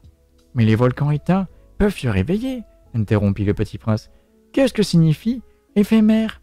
Que les volcans soient éteints ou soient éveillés, ça revient au même pour nous autres, dit le géographe. Ce qui compte pour nous, c'est la montagne. Elle ne change pas. Mais qu'est-ce que signifie éphémère? répéta le petit prince qui de sa vie n'avait renoncé à une question une fois, n'avait jamais renoncé à une question une fois qu'il avait posé. Ça, ça signifie qu'il est menacé de disparition prochaine. Ma fleur est menacée de disparition prochaine? Bien sûr. Ma fleur est éphémère, se dit le petit prince, et elle n'a que quatre épines pour se défendre contre le monde, et je l'ai laissée toute seule chez moi. C'est là son premier mouvement de regret. Mais il reprit courage. Que me conseillez-vous d'aller visiter? demanda-t-il. La planète, la planète Terre, lui répondit le géographe. Elle a une bonne réputation. Et le petit prince en fut, songeant à sa fleur. La septième planète fut donc la Terre. La Terre n'est pas une planète quelconque. On y compte 111 rois, en n'oubliant pas, bien sûr, les rois nègres. 7000 géographes, 900 000 businessmen, 7 millions et demi d'ivrognes, 311 millions de vaniteux, c'est-à-dire environ 2 milliards de grandes personnes. Pour vous donner une idée des dimensions de la Terre, je vous dirais qu'avant l'invention de l'électricité, on y devait entretenir sur l'ensemble des six continents une véritable armée de 462 511 allumeurs de réverbères. Vu d'un peu loin, ça fait un effet splendide. Les mouvements de cette armée étaient réglés comme ceux d'un ballet d'opéra. D'abord venait le tour des allumeurs de réverbères de Nouvelle-Zélande et d'Australie. Puis ceux-ci. Puis ceux-ci, ayant allumé leurs lampions, s'en allaient dormir. Alors entraient à leur tour dans la danse les allumeurs de réverbères de Chine et de Sibérie. Puis, eux aussi s'escamotaient dans les coulisses. Alors venait le tour des allumeurs de réverbères de Russie et des Indes. Puis ceux d'Afrique et d'Europe. Puis de ceux d'Amérique du Sud. Puis de ceux d'Amérique du Nord et jamais ils ne se trompaient dans leur ordre d'entrée en scène, c'était grandiose. Seule l'allumeur de l'unique réverbère du pôle Nord et son confrère de l'unique réverbère du pôle Sud menaient des, voix, des, des vies d'oisiveté et de nonchalance, ils travaillaient deux fois par an.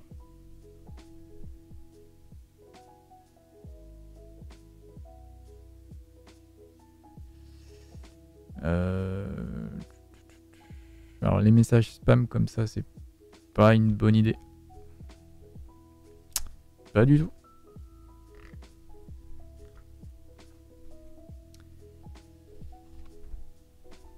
Quand on veut faire de l'esprit, il arrive que l'on mente un peu. Je n'ai pas été très honnête en vous parlant des allumeurs de réverbères. Je risque de donner une fausse idée de notre planète à ceux qui ne la connaissent pas. Les hommes occupent très peu de place sur la Terre. Si les 2 milliards d'habitants qui peuplent la... Oula. Ah, c'est un follow. Merci pour le follow, Jujuper 3 gentil. J'en étais où? Les hommes, les hommes, euh, oui c'est ça, les hommes occupent très peu de place sur la Terre. Si les 2 milliards d'habitants qui peuplent la Terre se tenaient debout et un peu serrés, comme pour un meeting, ils logeraient aisément sur une place publique de 20, de 20 miles. Ouais, miles. Il aurait fallu une, conversion kilométrique. C'est dommage. Ils logeraient aisément sur une place publique de 20 000 de long sur 20 000 de large on pourrait entasser l'humanité sur le moindre petit îlot du Pacifique. Les grandes personnes, bien sûr, ne vous croiront pas. Elles s'imaginent tenir beaucoup en place. Beaucoup de place. Oh là. Elles s'imaginent tenir beaucoup de place. Elles se voient importantes comme des baobabs. Vous leur conseillerez donc de faire le calcul. Elles adorent les chiffres, ça leur plaira. Mais ne perdez pas votre temps à ce pensum. C'est inutile. Vous aviez confiance en moi. Le petit prince, une fois sur Terre, fut donc bien surpris de ne voir personne. Il avait déjà peur de s'être trompé de planète quand un anneau couleur de lune remua dans le sable. Bonne nuit, fit le petit prince à tout hasard. Bonne nuit, fit le serpent. Sur quelle planète suis-je tombé demanda le petit prince. Sur la Terre, en Afrique, répondit le serpent. Ah Il n'y a donc personne sur la Terre? Ici, c'est le désert. Il n'y a personne dans les déserts. La Terre est grande, dit le serpent. Le petit prince s'assit sur une pierre et leva les yeux vers le ciel. Je me demande, dit-il, si les étoiles sont éclairées afin que chacun puisse un jour retrouver la sienne. Regarde ma planète, elle est juste au-dessus de nous, mais comme elle est loin. Elle est belle, dit le serpent, mais que viens-tu faire ici? J'ai des difficultés avec une fleur, dit le petit prince. Ah, fit le serpent, et ils se turent. Où sont les hommes? reprit enfin le petit prince. On est un peu seul dans le désert. On est seul aussi chez les hommes, dit le serpent. Le petit prince le regarda longtemps. Tu es une drôle de bête, lui dit-il enfin. Mince, comme un doigt. Mais je, mais je suis plus puissant que le doigt d'un roi, dit le serpent. Le petit prince eut un sourire. Tu n'es pas bien puissant, tu n'as même pas de pattes, tu ne peux même pas voyager. Je puis t'emporter plus loin qu'un navire, dit le serpent. Il s'enroula autour de la cheville du petit prince comme un bracelet d'or. Celui que je touche, je le rends à la terre dont il est sorti dit-il encore. Mais tu es pur et tu viens d'une étoile. Le petit prince ne répondit rien. Tu me fais pitié, toi, si faible sur cette terre. Euh, si c'est la voix du serpent là. Le petit prince ne répondit rien. Tu me fais pitié, toi, si faible sur cette terre de granit. Je puis t'aider un jour si tu regrettes trop ta planète. Je puis. Oh, j'ai très bien compris, fit le petit prince. Mais pourquoi parles-tu toujours par énigme? Je les résous toutes, dit le serpent. Et ils se turent.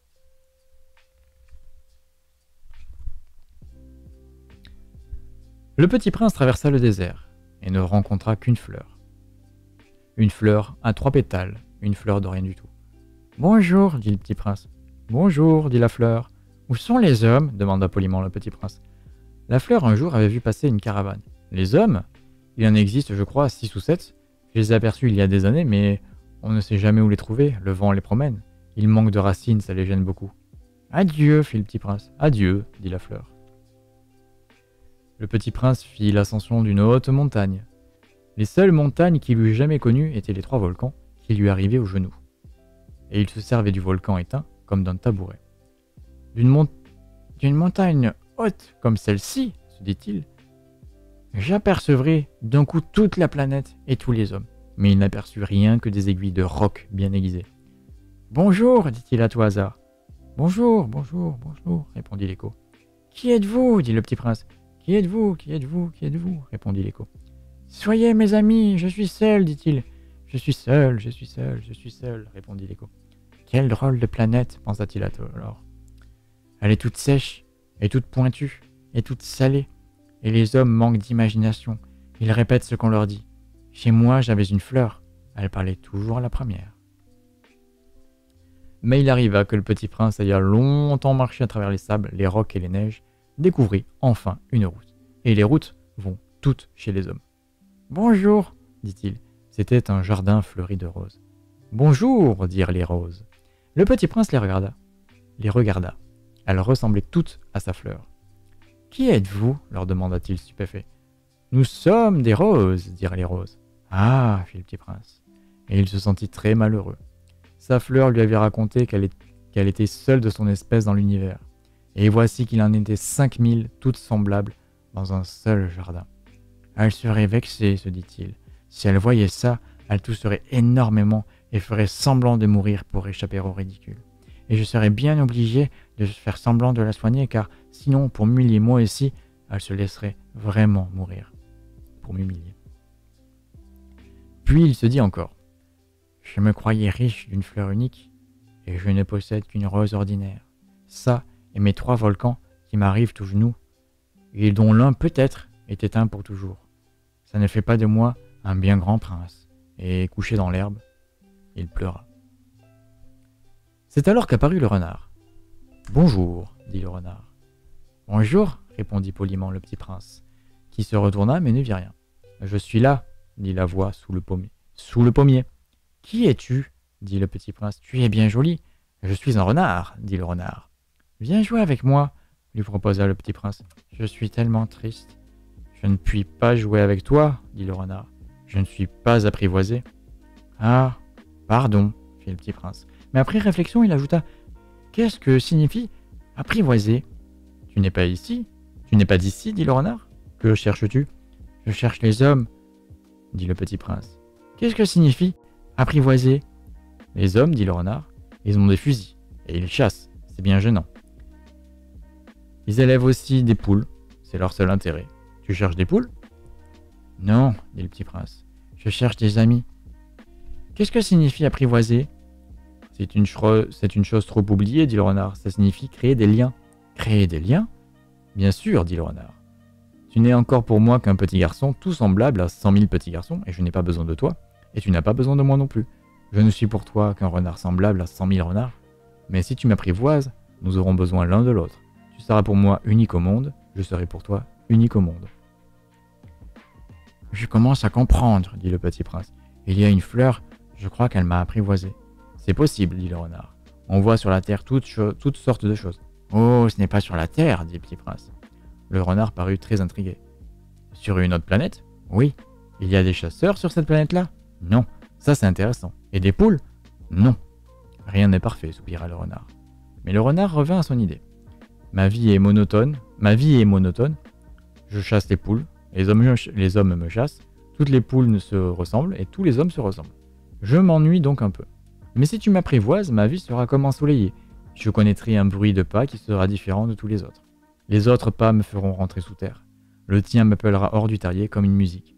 Et puis regarde, tu vois là-bas les champs de blé? Je ne mange pas de pain. Le blé pour moi est inutile. Les champs de blé ne me rappellent rien. Et ça, c'est triste. Mais tu as des cheveux couleur d'or, alors ce sera merveilleux quand tu m'auras apprivoisé. Le blé qui est doré me, le blé qui est doré me fera souvenir de toi. Et j'aimerais le bruit, et j'aimerais le bruit du vent dans le blé.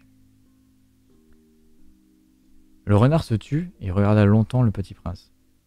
S'il te plaît, apprivoise-moi, dit-il. Je veux bien, répondit le petit prince, mais je n'ai pas beaucoup de temps. J'ai des amis à découvrir et beaucoup de choses à connaître. On ne connaît que les choses que l'on apprivoise, dit le renard. Les hommes n'ont plus le temps de rien connaître. Ils achètent des choses toutes faites chez les marchands. Mais comme il n'existe point de marchands d'amis, les hommes n'ont plus d'amis. Si tu veux un ami, apprivoise-moi. Que faut-il faire dit le petit prince. Il faut être très patient, répondit le renard. Tu t'assoiras d'abord un peu loin de moi, comme ça, dans l'herbe. Je te regarderai du coin de l'œil. Et tu ne diras rien. Le langage est source de malentendus. Mais chaque jour, tu pourras t'asseoir un peu plus près. Le lendemain revint le petit prince. Il eut, mieux valu, oh, il mieux valu revenir à la même heure, dit le renard. si tu viens par exemple à 4 heures de l'après-midi, dès 3 heures, je commencerai d'être heureux. Puis, plus l'heure avancera, plus je me sentirai heureux. À 4 heures déjà, je m'agiterai et m'inquiéterai. Je découvrirai le prix du bonheur. Mais si tu viens n'importe quand, je ne saurai jamais à quelle heure m'habiller le cœur. Il faut des rites. Qu'est-ce qu'un rite? dit le petit prince. C'est aussi quelque chose de trop oublié, dit renard. C'est ce qui fait qu'un jour est différent des autres jours, une heure des autres heures. Il y a un rite par exemple chez mes chasseurs, ils dansent le jeudi avec les filles du village. Alors le jeudi est un jour merveilleux. Je vais me promener jusqu'à la vigne. Si les chasseurs dansaient n'importe quand, les jours se ressembleraient tous et je n'aurais point de vacances. Ainsi le petit prince apprivoisa le renard. Et quand l'heure du départ fut proche, Ah, dit le renard, je pleurerai. C'est ta faute, dit le petit prince. Je ne, te, souhaitais point de mal, mais tu as voulu que je t'apprivoise. Bien sûr, dit le renard. Mais tu vas pleurer, dit le petit prince. Bien sûr, dit le renard. Alors tu n'y gagnes rien. J'y gagne, dit le renard, à cause de la couleur du blé. Puis il ajouta Va revoir les roses. Tu comprendras que la tienne est unique au monde. Tu reviendras me dire adieu, et je te ferai cadeau d'un secret. Le petit prince s'en fut revoir les roses. Vous n'êtes pas du tout semblable à ma rose, vous n'êtes rien encore, leur dit-il. Personne ne vous a apprivoisé, et vous n'avez apprivoisé personne. Vous êtes comme était mon renard. Ce n'était qu'un renard, renard, semblable à cent mille autres. Mais j'en ai fait mon ami, et il est maintenant unique au monde. Et les roses étaient bien gênées. Vous êtes belle, mais vous êtes vide, leur dit-il encore. On ne peut pas mourir pour vous. Bien sûr, ma rose à moi, un passant ordinaire croirait qu'elle vous ressemble. Mais elle seule, elle est plus importante que vous toutes puisque c'est elle que j'ai arrosée, puisque c'est elle que j'ai mis sous globe, puisque c'est elle que j'ai abritée par le paravent, puisque c'est elle dont j'ai tué les chenilles, sauf les deux ou trois pour les papillons. Puis c'est elle que j'ai écouté se plaindre, ou se vanter, ou même quelquefois se taire, puisque c'est ma rose. Et il revint vers, et il revint vers le renard. Adieu, dit-il. Adieu, dit le renard. Voici mon secret. Il est très simple. On ne voit bien qu'avec le cœur. L'essentiel est invisible pour les yeux. L'essentiel est invisible pour les yeux, répéta le petit prince afin de s'en souvenir. C'est le temps que tu as perdu pour ta rose qui fait ta rose si importante. C'est le temps que j'ai perdu pour ma rose, fit le petit prince afin de s'en souvenir. Les hommes ont oublié cette vérité, dit le renard. Mais tu ne dois pas l'oublier. Deviens responsable pour toujours de ce que tu as apprivoisé.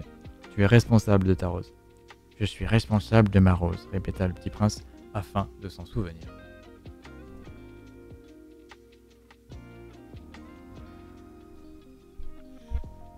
Bonjour, dit le petit prince. Bonjour, dit l'aiguilleur. Que fais-tu ici? dit le petit prince. Je trie les voyageurs par paquet de mille, dit l'aiguilleur. J'expédie les trains qui les emportent, tantôt vers la droite, tantôt vers la gauche. Et un rapide illuminé, grondant comme le tonnerre, fait trembler la cabine d'aiguillage.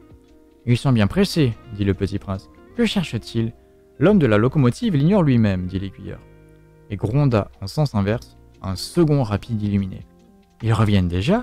demanda le petit prince. Ce ne sont pas les mêmes, dit l'aiguilleur. C'est un échange. Ils n'étaient pas contents là où ils étaient? On n'est jamais content là où l'on est, dit l'aiguilleur. Et gronda le tonnerre, d'un troisième rapide illuminé.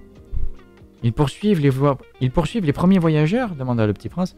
Ils ne poursuivent rien du tout, dit l'aiguilleur. Ils dorment là-dedans, ou bien ils baillent. Les enfants seuls écrasent leur nez contre les vitres. Les enfants seuls savent ce qu'ils cherchent, fit le petit prince. Ils perdent du temps pour une poupée de chiffon, et elle devient très importante, et si on la, leur enlève, ils pleurent. Ils ont de la chance, dit l'aiguilleur. Bonjour, dit le petit prince. Bonjour, dit le marchand. C'était un marchand de pilules perfectionnées qui apaise la soif. On en avale une par semaine, et l'on n'éprouve plus le besoin de boire. Pourquoi vends-tu ça dit le petit prince? C'est une grosse économie de temps, dit le marchand. Les experts ont fait des calculs. On épargne 53 minutes par semaine. Et que fait-on de ces 53 minutes? On en fait ce que l'on veut. Moi, se dit le petit prince, si j'avais 53 minutes à dépenser, je marcherais tout doucement vers une fontaine.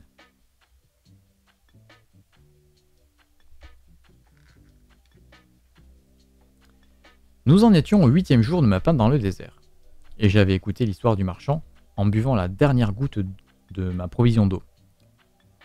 Ah, dis-je au petit prince, elles sont bien jolies tes souvenirs, ils sont bien jolis tes souvenirs, mais je n'ai pas encore réparé mon avion, je n'ai plus rien à boire et je serais heureux, moi aussi, si je pouvais marcher tout doucement vers une fontaine. Mon ami le renard, me dit-il, mon petit bonhomme, il ne s'agit plus du renard. Pourquoi? Parce qu'on va mourir de soif. Il ne comprit rien de mon raisonnement et il me répondit C'est bien d'avoir eu un ami, même si on va mourir. Moi, je suis bien content d'avoir eu un ami renard. Il ne mesure pas le danger, il ne mesure pas le danger, me dis-je. Il n'a jamais ni faim ni soif. Un peu de soleil lui suffit. Mais il me regarda répondit à ma pensée. J'ai soif aussi. Cherchons un puits. J'eus un geste de lassitude. Il est absurde de chercher un puits au hasard dans l'immensité du désert. Cependant, nous nous mîmes en marche. Quand nous eûmes marché des heures, en silence, la nuit tomba et les étoiles commencèrent de s'éclairer. Je les apercevais comme en rêve, ayant un peu de fièvre à cause de ma soif. Les mots du petit prince dansaient dans ma mémoire. Tu as donc soif, toi aussi lui demandai-je, mais il ne répondit pas à ma question. Il me dit simplement L'eau peut aussi, l'eau peut aussi être bonne pour le cœur. Je ne, compris, je ne compris pas sa réponse, mais je me tue. Je savais bien qu'il ne fallait pas l'interroger. Il était fatigué. Il s'assit. Je m'assis auprès de lui. Et après un silence, il dit encore Les étoiles sont belles, à cause d'une fleur que l'on ne voit pas. Je répondis, bien sûr, et je regardais sans parler les plis du sable sous la lune. Le désert est beau, ajouta-t-il, et c'était vrai. J'ai toujours aimé le désert. On s'assoit sur une grand... on s'assoit sur une dune de sable, on ne voit rien, on n'entend rien, et cependant, quelque chose rayonne en silence. Ce qui embellit le désert, dit le petit prince, c'est qu'il cache un puits quelque part. Je fus, je fus surpris de comprendre soudain ce mystérieux rayonnement de sable. Lorsque j'étais petit garçon, j'habitais une maison ancienne, et la légende racontait qu'un trésor y était enfoui. Bien sûr, jamais personne n'a su le découvrir, ni peut-être même ne l'a cherché. Mais il enchantait toute cette maison. Ma maison cachait un, secret au fond de son cœur. Oui, dis-je au petit prince, qu'il s'agisse de la maison, des étoiles ou du désert, ce qui fait leur beauté est invisible. Je suis content, dit-il, que tu sois d'accord avec mon renard. Comme le petit prince endormait, je le pris dans mes bras, et je me remis en route. J'étais ému. Il me semblait porter un trésor fragile. Il me semblait même qu'il n'y eût rien de plus fragile sur la terre. Je regardais à la lumière de la lune ce front pâle, ses yeux clos, ses mèches de cheveux qui tremblaient au vent. Et je me disais, ce que je vois là n'est qu'une écorce. Le plus important est invisible. Comme ses lèvres entr'ouvertes ébauchaient un demi-sourire, je me dis encore, ce qui m'émeut si fort de ce petit prince endormi, c'est sa fidélité pour une fleur.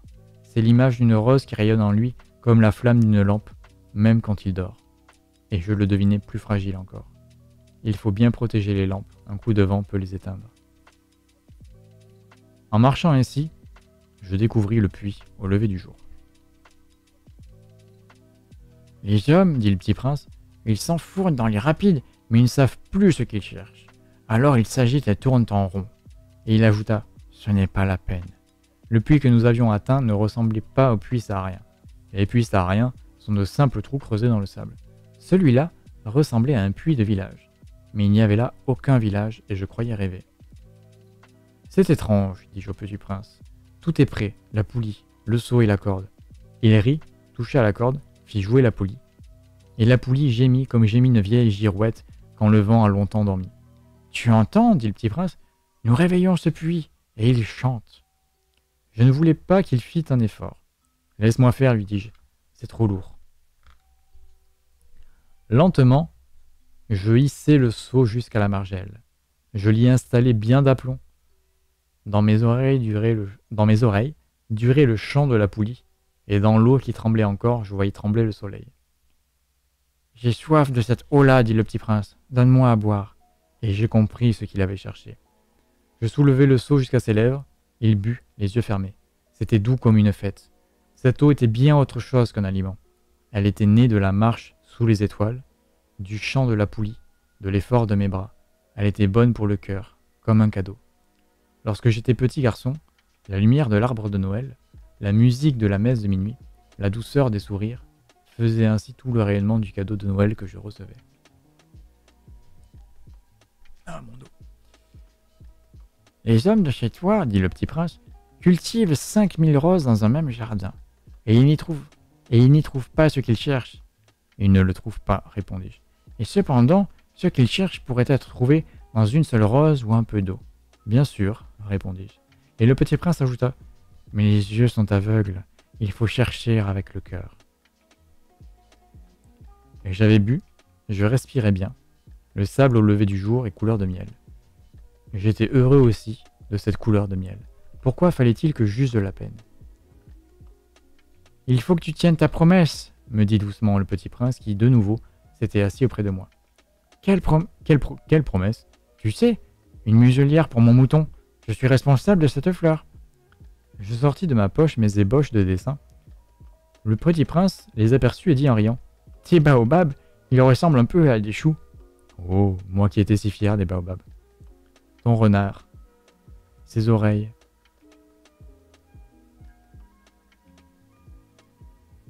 Ton, renard, ses oreilles, elles ressemblent un peu à des cornes et elles sont trop longues. Et il hérite encore. Tu es injuste, petit bonhomme, je ne savais rien dessiner que les bois fermés et les bois ouverts. Oh, ça ira, dit-il. Les enfants savent. Je crayonnai donc une muselière, et j'eus le cœur serré en la lui donnant. Tu as des projets que j'ignore. Mais il ne me répondit pas. Il me dit Tu sais, ma chute sur la terre, ça en sera demain l'anniversaire. Puis après un silence, il dit encore J'étais tombé tout près d'ici. Et il rougit. Et de nouveau, sans comprendre pourquoi, j'éprouvais un chagrin bizarre. Cependant, une question me vint. Alors, ce n'est pas par hasard que le matin où je t'ai connu, il y a huit jours, tu te promenais comme ça tout seul à mille milles de toutes les régions habitées tu, tournais vers le, tu retournais vers le point de ta chute Le petit prince rougit encore. Et j'ajoutais en hésitant À cause peut-être de l'anniversaire Le petit prince rougit de nouveau. Il ne répondait jamais aux questions, mais quand on rougit, ça signifie oui, n'est-ce pas? Ah, lui dis-je, j'ai peur. Mais il me répondit Tu dois maintenant travailler, tu dois repartir vers ta machine. Je t'attends ici. Reviens demain soir. Reviens demain soir. Mais je n'étais pas rassuré. Je me souvenais du renard. On risque de pleurer un peu si l'on si l'on s'est laissé apprivoiser. Il y avait à côté du puits une ruine de vieux murs de pierre. Lorsque je revins de mon travail le lendemain soir, j'aperçus de loin mon petit prince, assis là-haut, les jambes pendantes, et je l'entendis qui parlait. Tu ne t'en souviens donc pas, disait-il, ce n'est pas tout à fait ici. Une autre voix lui répondait sans doute, puisqu'il répliqua Si, si, c'est bien le jour, mais ce n'est pas ici l'endroit. Je poursuivais ma marche vers le mur. Je ne voyais ni n'entendais toujours personne. Pourtant, le petit prince répliqua de nouveau. Bien sûr, tu verras où commence ma trace dans le sable. Tu n'as qu'à qu'à m'y attendre et j'y serai cette nuit. J'étais à 20 mètres du mur et je voyais toujours personne. Le petit prince dit encore après un silence.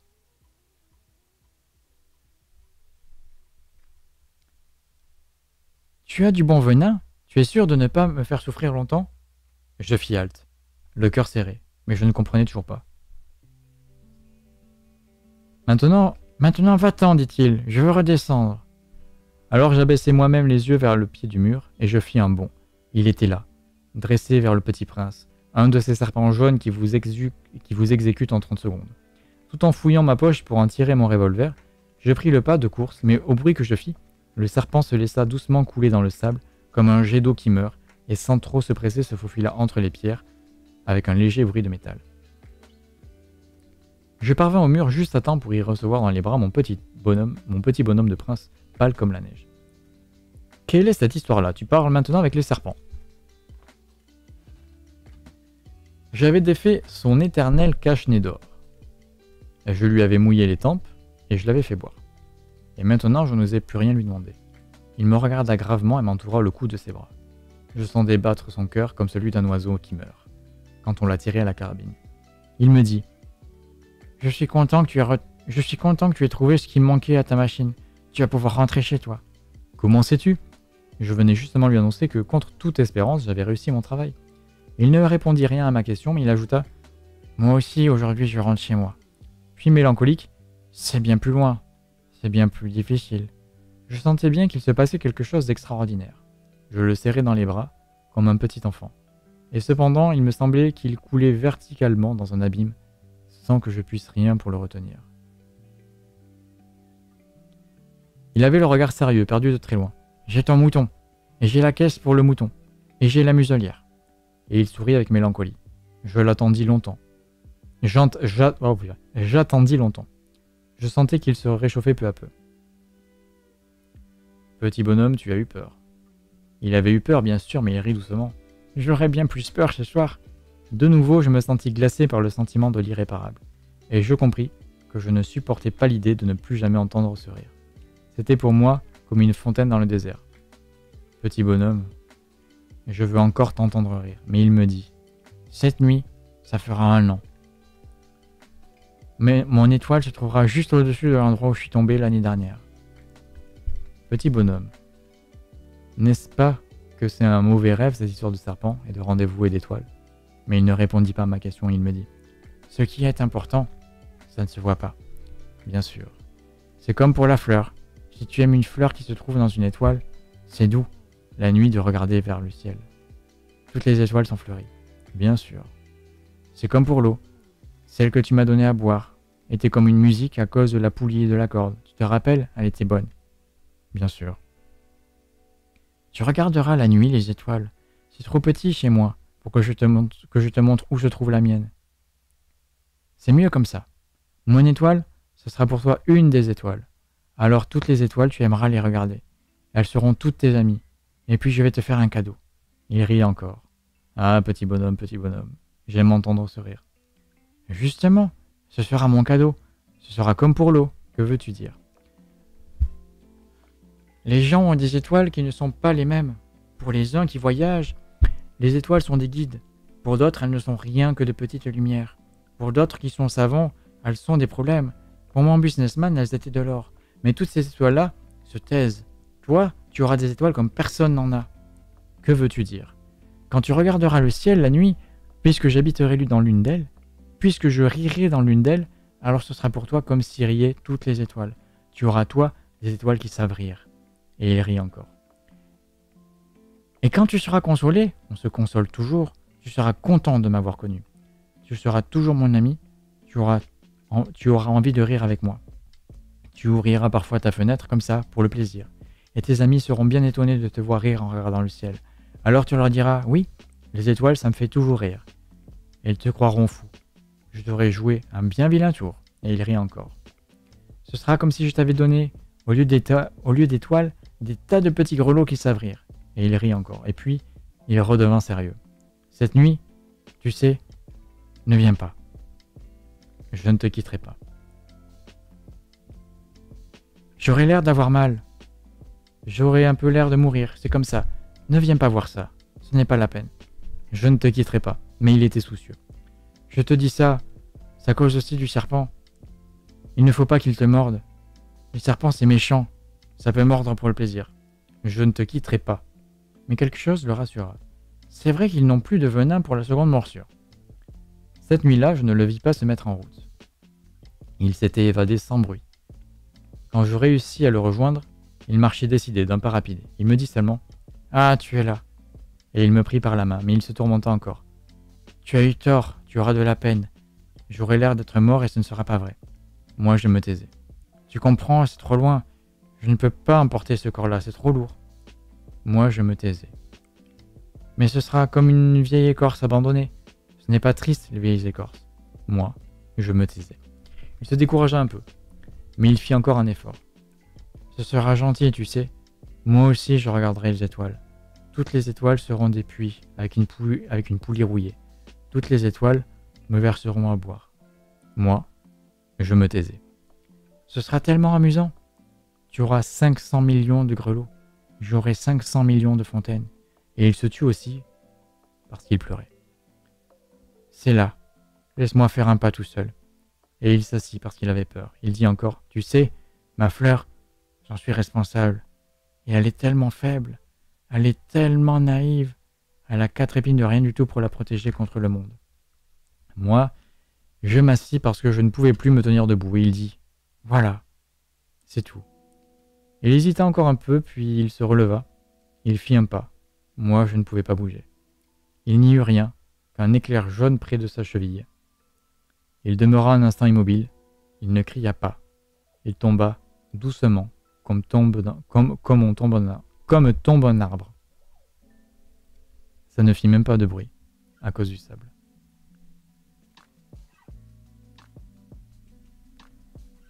Et maintenant, bien sûr, ça fait six ans déjà. Je n'ai jamais encore raconté cette histoire. Les camarades qui m'ont revu ont été bien contents de me revoir vivant. J'étais triste, mais je leur disais, c'est la fatigue. Maintenant, je me suis un peu consolé, c'est-à-dire pas tout à fait. Mais je sais bien qu'il est revenu à sa planète car au lever du jour, je n'ai pas retrouvé son corps. Ce n'était pas un corps tellement lourd. Et j'aime la nuit écouter les étoiles, c'est comme 500 millions de grelots. Mais voilà qu'il se passe quelque chose d'extraordinaire. La muselière que j'ai dessinée pour le petit prince, j'ai oublié d'y ajouter la courroie du cuir, de cuir. Il n'aura jamais pu l'attacher au mouton. Alors je me demande, que s'est-il passé sur sa planète? Peut-être bien que le mouton a mangé la fleur? Tantôt je me dis sûrement non. Le petit prince enferme sa fleur toutes les nuits sous son globe de verre, et il surveille bien son mouton. Alors je suis heureux, et toutes les étoiles rient doucement. Tantôt je me dis, on est distrait une fois ou l'autre et ça suffit. Il a oublié un soir le globe de verre ou bien le mouton est sorti sans bruit pendant la nuit. Alors les grelots se changent tous en larmes. C'est là un bien grand mystère pour vous, qui aimez aussi le petit prince comme pour moi. Rien de l'univers n'est semblable si quelque part, on ne sait où, un mouton que nous ne connaissons pas a oui ou non mangé une rose. Regardez le ciel, demandez-vous, le mouton, oui ou non, a-t-il mangé la fleur? Et vous verrez comme tout change. Et aucune grande personne ne comprendra jamais que ça a tellement d'importance.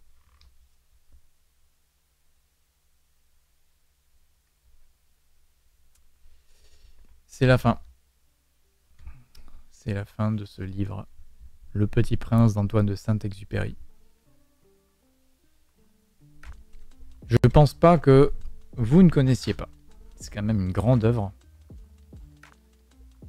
C'est un vrai plaisir à chaque fois de le relire et euh, ça. On plonge dans cet imaginaire-là, mais en même temps, c'est très mélancolique. Très très mélancolique. Mais c'est excellent, c'est très imagé aussi. Je vous ai pas montré toutes les images, hein, mais Antoine de Saint-Exupéry a apporté toutes ces, euh, a fait beaucoup beaucoup d'aquarelles. Et euh, ça avait pu être récupéré pour bien les intégrer au bouquin. Voilà, c'était le petit prince de Saint-Exupéry pour ce moment lecture. J'espère que ça a plu. J'espère que euh, j'ai pas trop bégayé, que je me suis pas trop raté. Enfin, si, un peu quand même, même peut-être beaucoup. Mais c'est pas très grave pour moi. J'avais envie de le lire à voix haute. Donc euh, pour moi, j'ai quand même passé un bon moment. J'essaierai d'améliorer un petit peu euh, la prononciation et l'élocution. C'est euh, quand même. ce sera quand même moins dérangeant pour vous. Il va être 2h du matin. Je vous laisse. Prenez soin de vous. Et on se retrouve dans pas longtemps. Suivez Yvason Studio, bien sûr, sur tous les réseaux Twitch, Facebook, Instagram, Twitter et euh, suivez sur les deux YouTube. Et bien sûr, euh, abonnez-vous sur Twitch, je l'ai dit. rejoignez Discord, voilà. Allez, passez une agréable nuit. Dormez bien, rêvez bien. Ne grandissez pas trop vite. Cordialement.